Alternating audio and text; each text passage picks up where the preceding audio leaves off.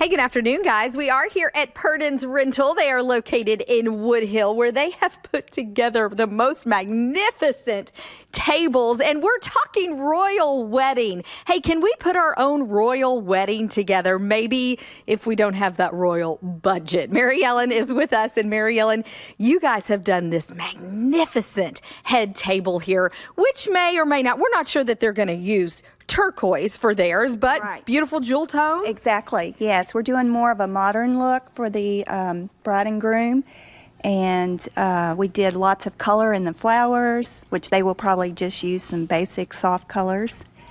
And uh, we did a little bit of gold in it, not a lot. a lot a big pop of it which is very royal and you you ask what kind of food might be served for a royal wedding we have diane with us from type a catering and you've done your research on this I have. I did. I read a little bit. So um, they're going to have a buffet with canapes. I a mean, buffet Well, for the first reception, they're having 800 guests, and the where they're having it is not set up to do a sit-down dinner. I suspect the more intimate dinner for 200 probably will be a very elegant plated affair, but the 800 when they feed the masses, they're supposed to have very traditional English appetizers and not only farm to table, but they have to source all the ingredients from the royal warrant holders, which are people that have basically done well enough that they are under the queen's tutelage. yeah something like that Tutelage, right? It's something. something we don't always completely understand. Becca stivers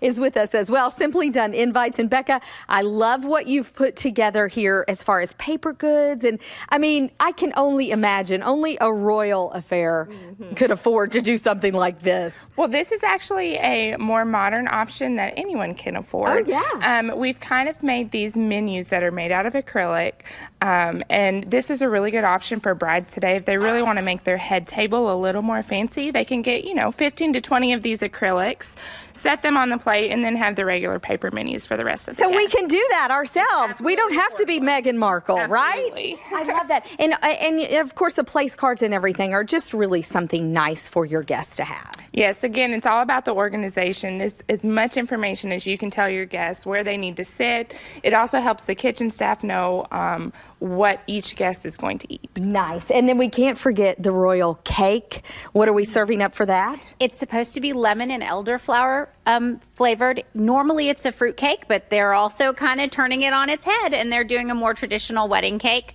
but with um, fruit flavored. Yumminess, right? Yes, yumminess. Fruit, fruit flavored cake, just not a fruit cake. Get rid of the fruit cake. I don't blame them.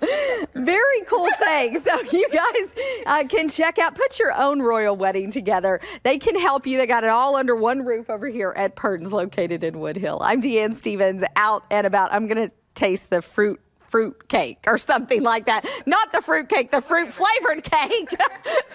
Back to you guys.